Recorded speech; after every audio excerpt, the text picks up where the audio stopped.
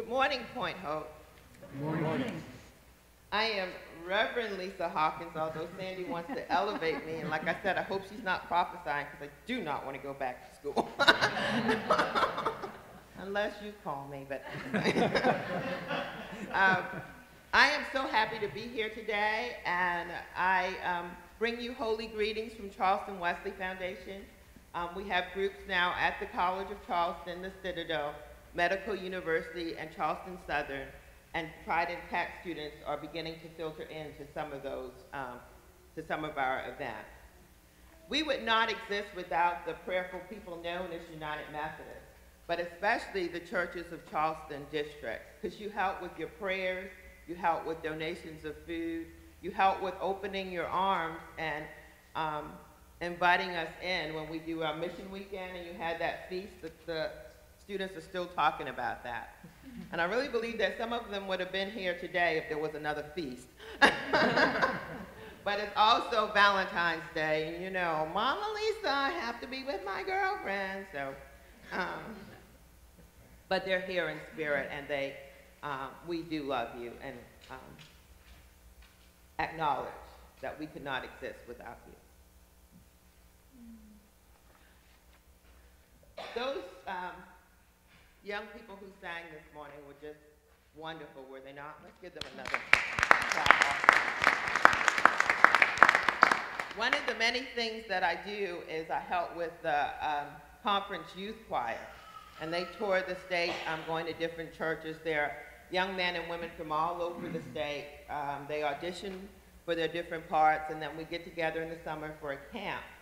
Um, the camp is about 10 days long. They come in on a Tuesday. That Friday, they give their first concert right there at Spartanburg Methodist College without the music, music that they had just gotten four days before. And they do it every year to, to my amazement. But um, they are wonderful, wonderful um, young people. And as I was listening to this children's choir, I'm like, ooh, Kathy Joe Long wants all of y'all in a few years. you know, once you get rising um, ninth graders, you're going to be knocking at your door. Um, and they are just wonderful young people who spread the gospel through song, just like these wonderful little cherubs did this morning. Um, and I love to see uh, young children's choir because we know that it's going to go on. Y'all not going to have to sing forever over there, but you know, God has a way of just bringing up through the ranks. Um, and it, it was really heartwarming to see that. And I, am going to tell Kathy Joan, give her the, the number to this church.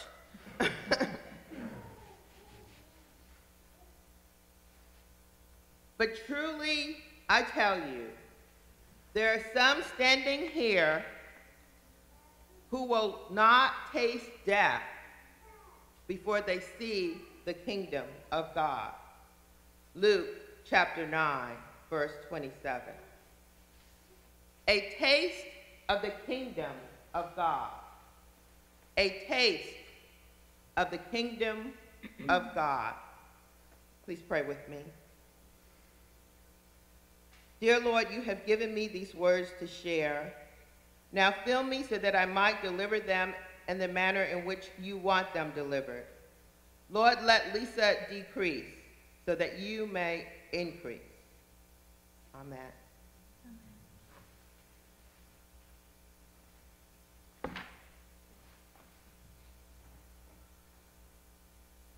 In our text today, Jesus is going up to the mountain to pray. Jesus is going up to the mountain to commune with God, to refresh his resolve to fulfill his divine purpose. Listen to the account of what Jesus had just revealed to his followers just eight days before our text opens and it's Luke chapter 9, verses 18 through 27.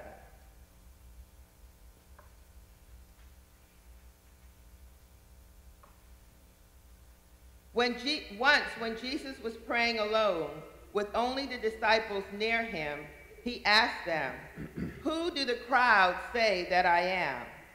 They answered, John the Baptist, but others, Elijah, and still others, that one of the ancient prophets had arisen.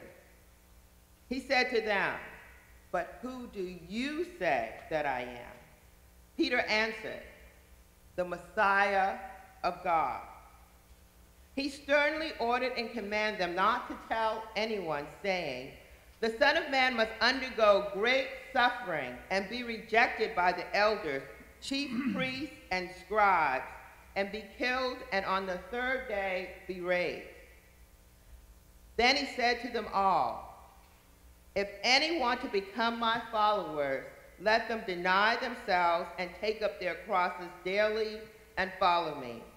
For those who want to save their life will lose it, and those who lose their life for my sake will save it.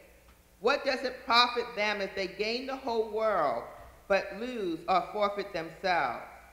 Those who are ashamed of me and of my words, of them the Son of Man will be ashamed when he comes in his glory and the glory of the Father and of the holy angels. But truly I tell you, there are some standing here who will not taste death before they see the kingdom of God. And just before that text, Jesus had fed the 5,000. Jesus is now drained. He is totally spent. He knows that he is moving closer, ever closer to his suffering and to his death. So, where does the chosen Son of God go when he needs strength? Strength of mind and of body. Where does he go but to his holy divine parent, Almighty God?